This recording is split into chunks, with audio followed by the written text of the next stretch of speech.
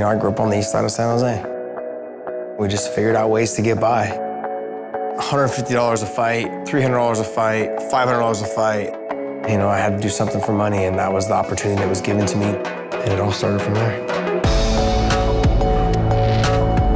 That's why, that's why when people talk about our relationship with Scott, is I wouldn't be where I am today without him, given the fact that, like, you know, he invested time into me, he invested into me. This is in 2005. So I said, well, Josh is the kind of guy that could help build this company. He understands, look, you're gonna have opportunities, and sometimes you're not gonna have opportunities. This is just how the business works. From the beginning, when he was doing Strikeforce kickboxing, MMA, he made sure that I had an opportunity to make money somewhere else, whether that was in Pride, whether that was anywhere else that he could find me fights. There's a relationship there that, you know, that uh, you'll never get with I think another promoter. Uh, okay, so here's my thing of Josh. I think he has he has a pretty big slice in his driver. We played a little bit, a little bit together when, when you had Strikeforce, right? Yeah. As soon as Strikeforce was gone, it was like three times a week. we, were, we were traveling. This was my life uh, for, after I saw Strikeforce. Yeah, this is the best. He's like, hey, he would just call me around. Hey, you want to play today? I was like, yeah, I actually got to work out. He's like, ah, nah, you can train after.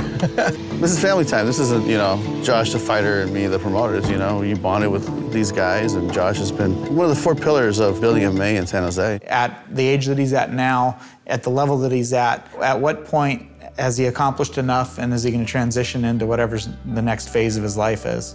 Tristan, Jojo, you're going to be with uh, Maddie. You two with Maddie. So I slide my toes in, right? All the way in. Now I'm over his back. Now he's carrying all my weight. Everyone got it? Yes, coach. Can't hear you. Yes, coach. All right, guys, four minutes. Okay, go. We basically have a motto at my gym. It's just create your own journey, no matter what it is. Create your own journey, whether it's jujitsu, from white belt to black belt. It's like that thing on their shoulders, man, to watch these kids stand up and they go, and they actually look at you as their coach. Did you see that? Like they get that look on their face, like, coach, did you see that? Even at 37, 38 years old now, I still do it. After I land a good combination, I got a takedown on someone I wasn't supposed to get a takedown on. I look at Javier, did you see that?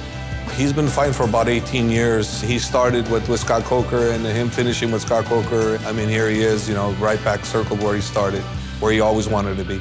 I see all the champions that are in, in the UFC, and they're all from Strikeforce. That's all. Those are all people that Scott put time and effort into, you know, for them to build their dream. And look what happened. They became who they are today because Scott invested in them. You know, it's unfortunate that you know they went over with the the Strikeforce buyout, but they all have a good understanding that Scott had done good things for them. The difference is I don't forget things like that. That's the difference.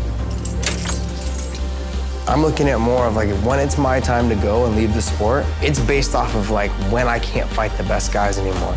And people want to talk about all the hard times and stuff they went through, but let's be real. Like I know exactly where I came from. I know exactly what I've been through. I know all the crap that I've done to get to where I am.